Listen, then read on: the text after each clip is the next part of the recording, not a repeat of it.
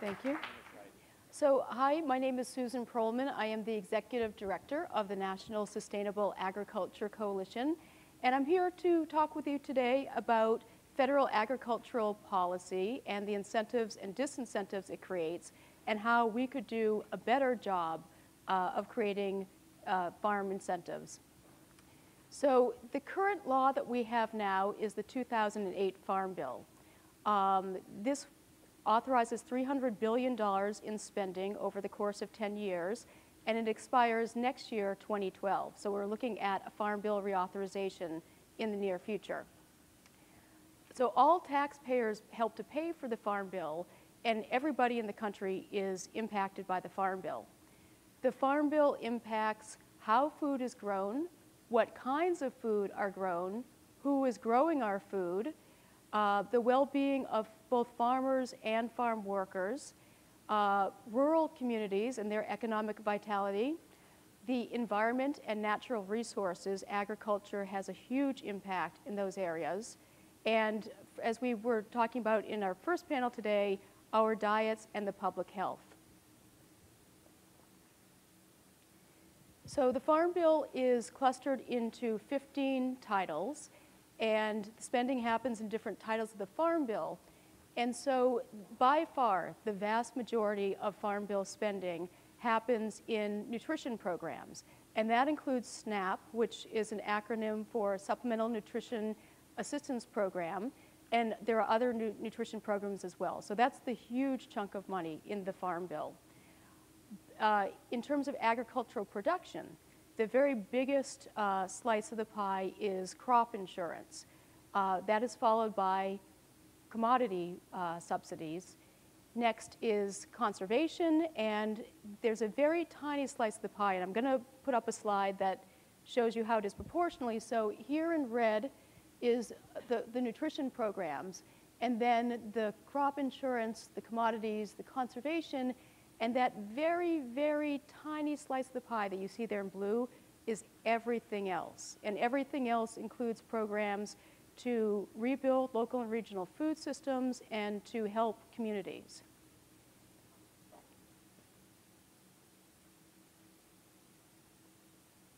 Okay, so I'm going to take just a moment to take a closer look at a few of, of, of the chunks that refer to agricultural production. So crop insurance is the dominant uh, way that we fund agricultural production right now through the federal farm bill. Basically what happens in crop insurance is that taxpayers subsidize 60% of crop insurance premiums. In addition, there are 16 private insurance companies that sell these insurance products. We help to pay for their administrative costs. Um, it's a huge program, and it has a lot of wrong incentives in it. Um, first of all, there used to be requirements that you couldn't get crop insurance unless you met some very, very basic conservation requirements so that you weren't breaking out native prairie lands, you weren't damaging very sensitive and valuable wetlands, things like that. In the last Farm Bill, Congress got rid of those requirements. So now crop insurance is being used to subsidize some environmentally destructive work. Crop insurance, as it's currently uh, planned, uh, as it's currently, as the program is currently uh, designed, increases farm consolidation and it incentivizes monocropping. There is no crop insurance program right now or, or, or uh, product right now that is good for diversified farms, the kinds of farms that grow fruits and vegetables and the kinds of farms that mix grain production with livestock production. And it's ironic that there is not, no such product because diversified systems are actually better from a risk perspective and insurance should be all about reducing risk. And I just want to give one quick other example of ways that the federal crop insurance program uh, provides a really important disincentive. Insurance, uh, excuse me, organic growers have to pay a 5% premium on the crop insurance that they purchase. But if they have a loss, they only get paid out at conventional, not organic prices. So next I'm going to talk about commodity subsidies. And you, you may have read a lot about this in the newspaper. first of all, the, the important point is that most farmers do not receive commodity subsidies.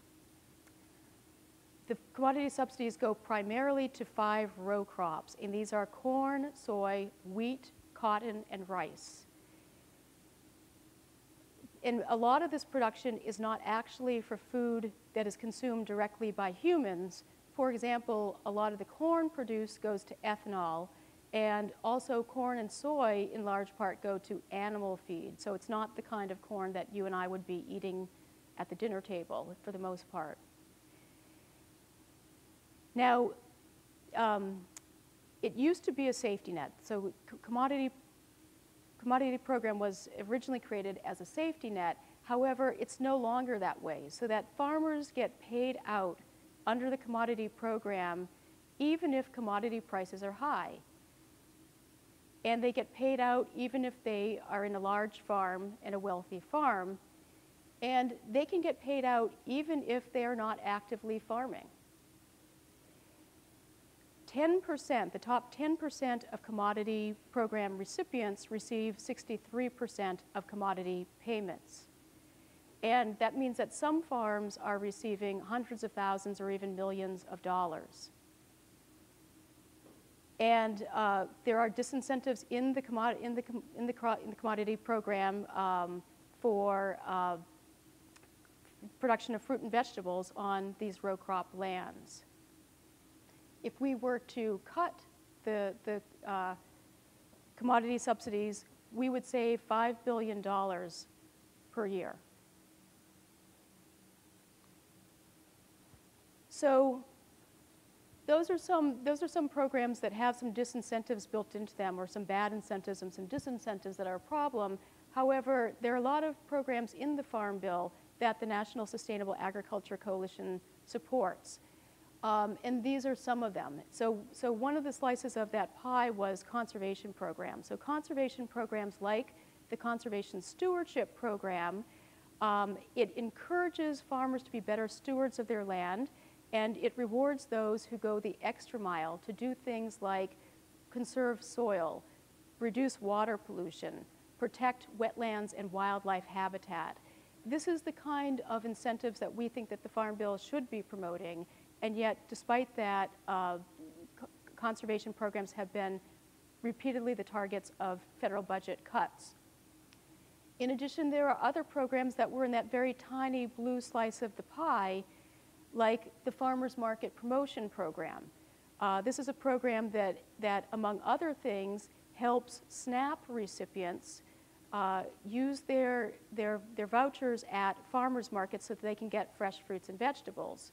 Now, the Farmers Market Promotion Program and many of the other good programs up here uh, have no baseline funding. And what that means is that in the next Farm Bill, they are not assumed to continue, that we would have to find, farming, find funding from somewhere else in the Farm Bill in order to continue these programs. And there are other good programs up here like programs that provide research on sustainable agriculture, training on sustainable agriculture practices for farmers, uh, programs that help to revitalize rural communities, and programs that help to rebuild local and regional food systems. So under our current federal agricultural policy, there's a disconnect. So the USDA comes up with dietary guidelines, and they have an advertising program called My Plate. And if you look at the advertising program, they're recommending something close to 50 percent of our food consumption could, should come from fruits and vegetables. However, in the Farm Bill, there's a disconnect, and the policy is not doing a great job of promoting fruits and vegetables. In fact, in the Farm Bill, fruits and vegetables are referred to as specialty crops. um, if we wanted to produce here in the US the amount of fruits and vegetables that have been recommended for the American public to consume, we would have to add 10 million new acres of fruits and vegetables, and we would have to add between 25 and 40,000 new farmers. And so this all brings us to the question of what is going to happen in the 2012 Farm Bill reauthorization. And I cannot speak about that topic without first talking about the super committee.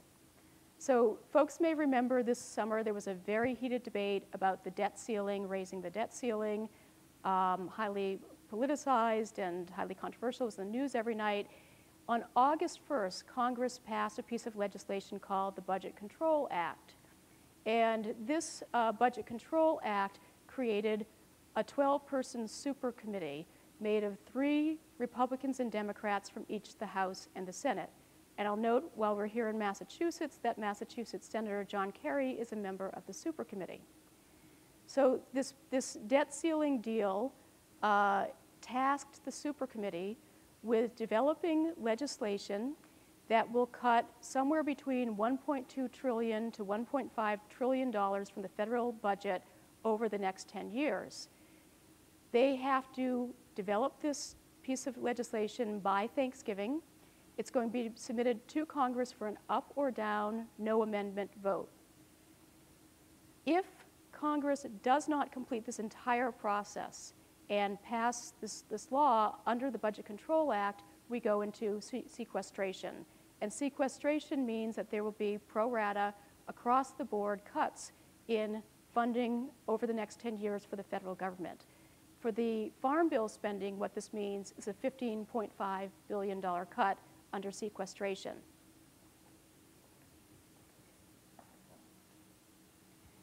So the, the committees in Capitol Hill that have authority over the Farm Bill are the agriculture committees. So here is a map of the Senate Agriculture Committee. Senator Debbie Stabenow of Michigan is the chairwoman of the Senate Agriculture Committee, and this map shows where the other folks are located geographically who are on the committee. You can see that the West Coast, by the way, is not well represented. Uh, this is the House Agriculture Committee. The House Agriculture Committee is chaired by Frank Lucas of Oklahoma, and again, uh, all the members of the committee are shown there on the map. So on Monday of this week, the leaders of the House and Senate Agriculture Committees sent to the Super Committee a letter saying that we will submit to you by November 1st, which is about a two-week turnaround, um, legislative language that will cut $23 billion from the Farm Bill. And that's basically where the Farm Bill reauthorization process is. This is unprecedented, by the way. We've never had a super committee of this kind. Um, and it is going to change the game in the Farm Bill completely because it's going to dictate the funding. Um, if they can pull it together, which, you know, a betting person would bet it would be pretty hard for them to pull it all together.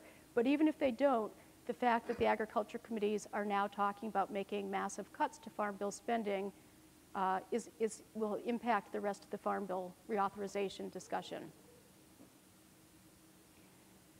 So, so, you know, I mentioned at the top of my talk that we are all tax, as taxpayers, we're all paying for the Farm Bill. As consumers, we're all affected by the Farm Bill.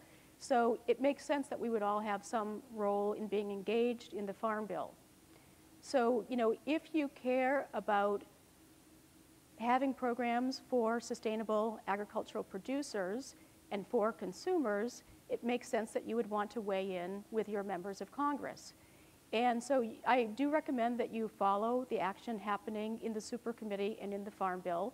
That's particularly important if you have, as, as folks here in Massachusetts do have, a member on the super committee, uh, members on the House and Senate Agriculture Committee, and also the House and Senate agriculture appropriations subcommittees. That's basically where all the action happens around this cluster of issues. And so you can email, call, and write your member of Congress, uh, weighing in in favor of moving away from direct subsidies, uh, having insurance programs that help diversified and organic farms, um, retying crop insurance to basic environmental and conservation requirements, putting meaningful payment caps on, on all the programs, including the crop insurance program, and then supporting the great programs that are there to help beginning farmer and ranchers, uh, socially disadvantaged farmers and ranchers who have had a history of discrimination by the USDA, uh, programs that do great research and training around sustainable agriculture, programs that revitalize rural communities, and programs that uh, rebuild local and regional food systems. So in addition to writing and calling, you can also go to visit your member in their district office, or if you ever make your way to DC, you can visit them in their DC